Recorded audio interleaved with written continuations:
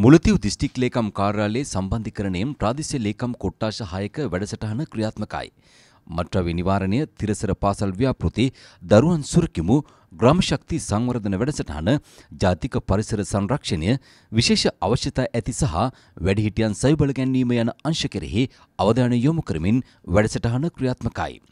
උවක්ගඩු රෝගය පාලනය කිරීම සහ ඒ පිළිබඳව දැනුවත් කිරීම ප්‍රති ආශ්‍රිත ජල උපකරණ ලබා දීම සහ ගෘහස්ත ජල පෙරණ උපකරණ බෙදා දීම වැඩසටහන යටතේ සිදු කෙරෙනවා. රට වෙනුවෙන් එකට සිටමු ජාතික සංවර්ධන වැඩසටහන යටතේ රැකියා අවස්ථා සඳහා යොමු කිරීම පිළිබඳ වැඩසටහන අද උදෑසන පැවැත්වුණේ මුලතිව් දිස්ත්‍රික් ලේකම් කාර්යාලයේ.